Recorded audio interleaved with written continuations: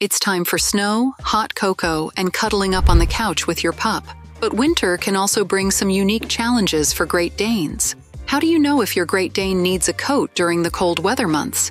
Let's take a look at what you need to consider when deciding whether or not to purchase a coat for your big giant this winter. Size matters. Great Danes often weigh over 100 pounds when fully grown. That size alone makes them more prone to feeling cold than smaller breeds. So if your dog is shivering even after being in the house or outside for only a few minutes, it may be time to invest in a coat. But then again, if he's been running around and playing in the snow without any signs of discomfort, then maybe a coat isn't necessary. Living environment. Where does your Great Dane actually live? If he spends most of his time indoors during winter months and rarely ventures out into chilly weather, he probably doesn't need a coat, especially if he is well fed and has plenty of fur. On the other hand, if he lives outdoors full time, which is not recommended, then getting him a coat is essential to keep him warm and healthy all winter long. Fur type and length.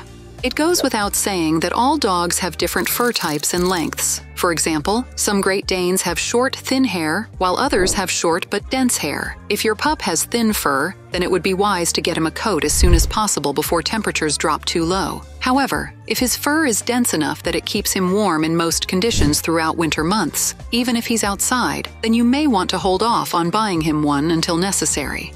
Cold weather gear for your Great Dane.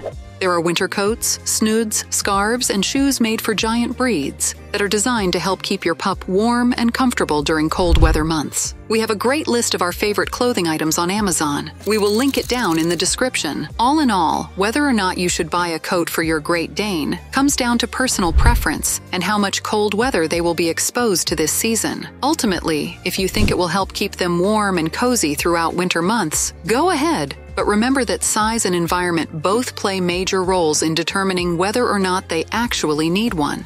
So be sure to assess each factor carefully before making any decisions about purchasing a coat for your beloved pup this winter. For more Great Dane information and goodies, check out Love Margot website and our social media. If you want to know more information about Great Danes, then check out this playlist of comprehensive Great Dane guides we have put together.